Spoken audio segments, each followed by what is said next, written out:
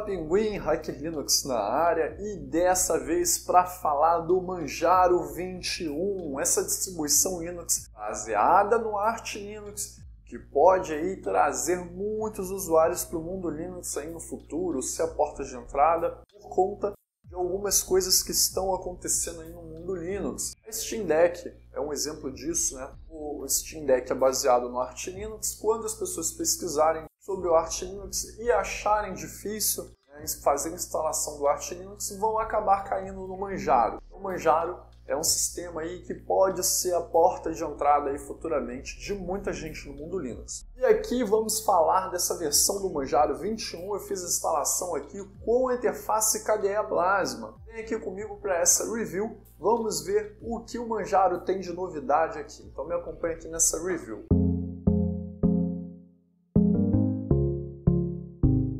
Essa aqui é a área de trabalho aqui do Manjaro com KDE, né? Vamos dar uma olhada aqui. Ele veio com esse wallpaper aqui bem simples, bem básico. Confesso que eu não entendi muito bem porque existem wallpapers aí do Manjaro já customizado, mas ele veio com esse aqui. Né? Aqui o painel, nós temos aqui a parte de notificações e tudo mais, Bluetooth, internet, rede, volume, aqui o calendário, né? Mostrando aqui, bonitinho. Uh, a Discover eu que instalei, eu que fiz a instalação da Discover, ela não veio por padrão. O Manjaro com KDE veio só com a PAMAC. Né? Você vem aqui em adicionar, remover programas. Ele vem aqui com essa loja. Você vem aqui, logo que você instalou o sistema, se você não tiver conseguindo utilizar o Manjaro, você vem aqui em atualizar banco de dados. Clicou aqui, depois que ele atualizar, você já vai conseguir fazer a instalação dos pacotes dos programas que você precisa. Eu habilitei aqui o suporte a Flatpak e a Snap para facilitar aqui eu conseguir é, fazer a instalação de algumas coisas. Habilitei esse efeitozinho aqui também, né? Por aí vai. Algumas coisas que eu gostei aqui no Manjaro por padrão. Você aperta F12, né? Ele tem uma boa integração com esse terminal aqui. Deixa eu ver se eu lembro o nome desse terminalzinho aqui. É esse aqui. É o Iaquac. Parece um nome indígena, né? E ele vem com um ZSH já por padrão. Eu não sei por que, que ele está com esse tema transparente aqui. Deixa eu ver se tá, tá dando. Não sei se vai dar para vocês verem aqui. Deixa eu tentar mudar aqui o tema e editar perfil atual. Mudei aqui a aparência para você conseguir visualizar melhor os comandos aqui. Vamos ver aqui consumo. Eu tenho aqui um total de 8 GB né, de memória DDR4. Ele está consumindo aí 2.1 GB, mas porque eu estou utilizando alguns recursos. Então, é, dá para levar em consideração aí essa questão. Esse Manjaro aqui está vindo com o kernel 5.13.15/1, kernel Linux nessa versão. Melhor, vamos aqui para a parte aqui de sobre que o, o KDE é bem completo nesse quesito, né? Ele mostra aqui diversas informações. Deixa eu ver aqui informações do sistema. Vindo aqui informações do sistema e mostra, né? Eu estou com o KDE aqui na versão 5.22.5, a versão do QT 5.15.2, versão do kernel aqui que eu já tinha falado, está utilizando aqui o Shorg, e aqui eu estou com um processador Intel, 8 GB de memória RAM, e eu estou com o Mesa Drive, aí, o Drive Intel, da minha Intel 620, porque a minha placa NVIDIA foi para o espaço. Aqui em customização você pode customizar o Manjaro, você pode modificar ele ao seu gosto, né? tem várias formas aí de você customizar. O Manjaro ele vem com o Pamac, que é um grande facilitador para você fazer instalação de pacotes de programas, para você habilitar Snap, para você habilitar Flatpak. Ele vem aqui com um facilitador no terminal também. É, vamos supor aqui que eu queira dar um Snap, olha. Só aqui está até aparecendo aqui da Snap da Google Assistente que eu instalei. Snap List. Bom, eu tenho aqui alguns snaps que eu fiz na instalação do sistema, como o Bitwarden, como o Darktable. Só que eu preciso avisar você que não é todo o programa que roda bem Snap. O Simple Note rodando bem, o Darktable também, o Bitwarden também, mas o Audacity e o GIMP eu tive que desinstalar o modo aí em Snap e eu tive que reinstalar em Flatpak porque eles não estavam abrindo Então não é o todo programa que vai funcionar bem aí em Snap no Manjaro. Tem alguns que vão abrir, tem alguns que não vão abrir, vai entender. Então tem alguns que eu mantive em Flatpak. Se você der aqui um Flatpak list, vai ver aí que eu tô com o YouTube DL, a CMPlay, o BS, Audacity, o Codex, o Intel, o FFmpeg e por aí vai, né? O Telegram. Eu tô com tudo isso aí em Flatpak. Quero fazer a instalação de alguma coisa no Manjaro. Como é que eu faço? Você vai usar o Pacman e você vai utilizar o parâmetro Flatpak. Eita!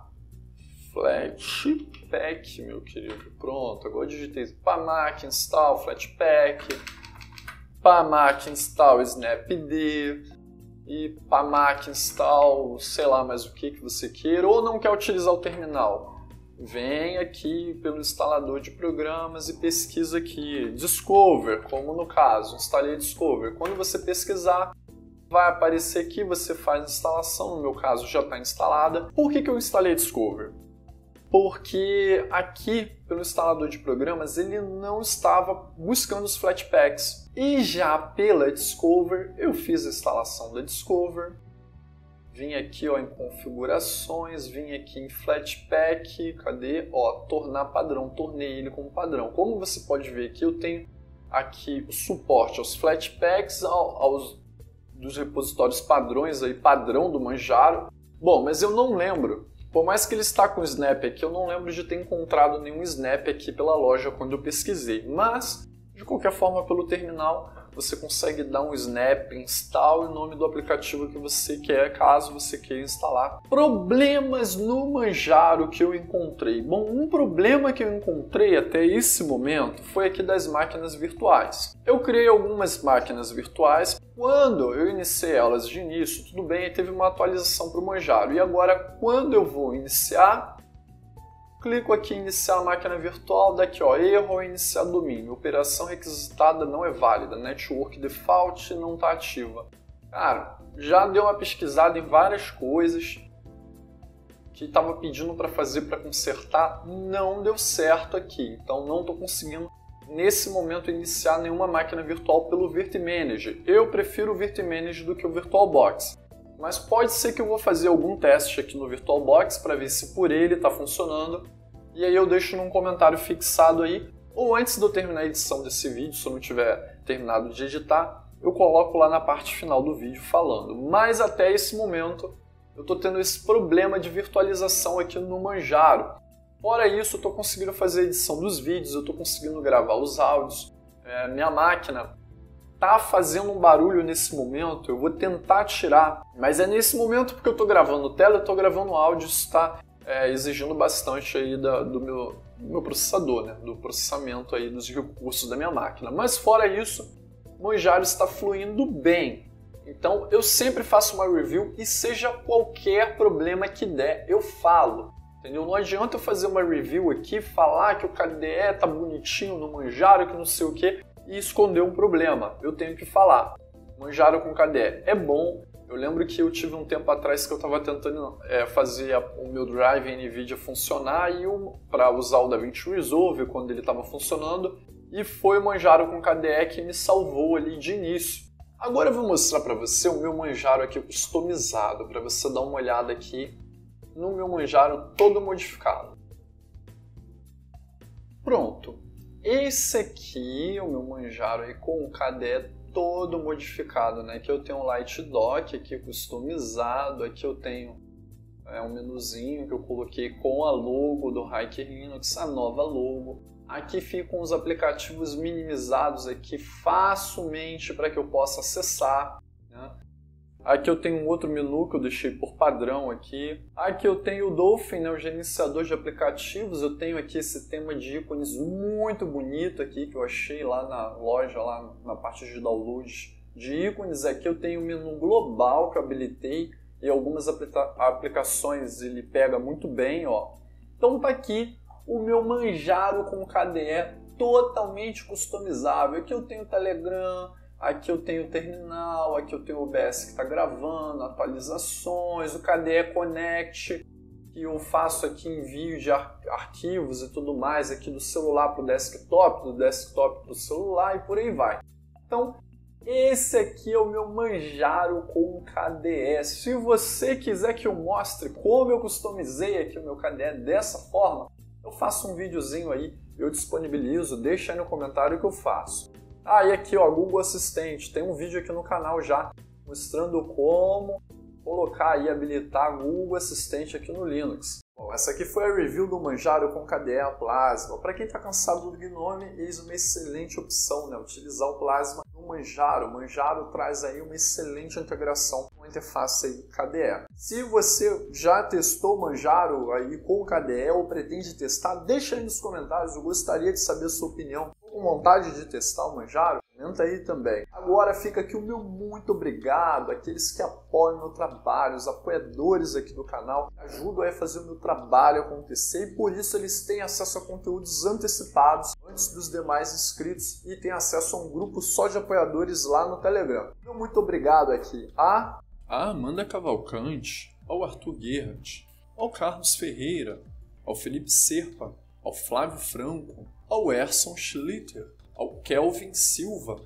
ao Ramon Diniz, ao Ricardo Góes, ao Varley Leal, a Viviane Silva e ao Wagner Lopes.